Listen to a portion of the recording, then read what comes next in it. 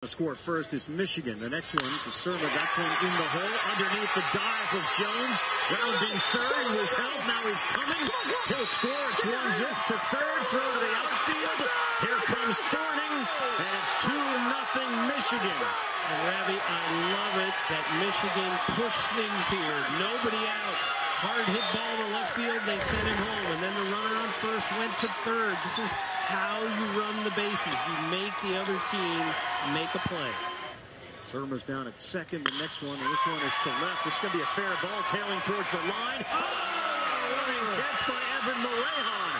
I love, first of all, this ball's going to tail towards the line, and Evan Morejon stays with this to the point where he dives, leaves his feet, jumps up, almost gets a double play. Talk about knowing where the runner is. Tyler Fitzgerald next up.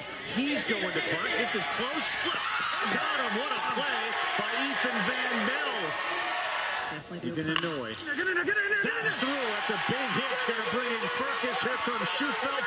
He's waited. Throw home. Not in time. Down to third base. A hard hit single right past the drawn in infield. They add